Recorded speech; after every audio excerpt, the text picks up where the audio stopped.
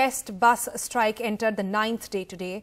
On Tuesday, the Mumbai High Court had asked all the stakeholders to decide about the strike till 11 a.m. on Wednesday, and the court will give its final order today. Purva Chitnis is here with details.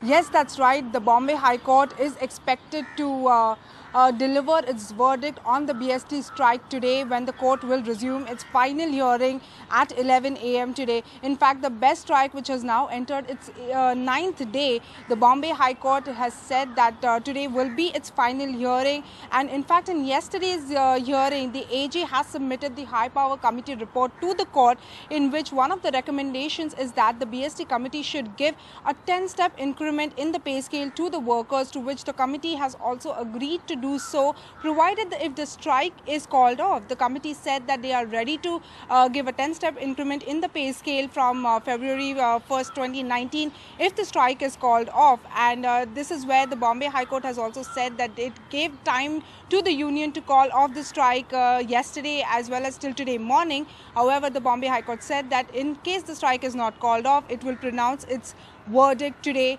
uh, in the court at around 11 a.m. Uh, in, uh, in fact, the other uh, demand which was on the merger of the BST budget with the BMC budget, to which the BMC said that uh, although the resolution has been passed, it uh, to become an act, it, uh, the BMC Act has to be amended, and for which which can be done only by the state government, and they have already passed on the resolution to the Urban Development Department of the state government, to which the AG said that he is not aware of such a resolution and he'll have to check and get back on that. However, uh, the main demand of the pay scale increase, uh, which was the main demand of the BST union, uh, the, uh, the BST committee as well as the union has agreed on the 10-step increment which was recommended by the High Power Committee and uh, the, uh, the court is expected to pronounce its uh, verdict today uh, which has now entered its ninth day. The BST strike has now entered its ninth day which is causing inconvenience to lakhs of Mumbaikars.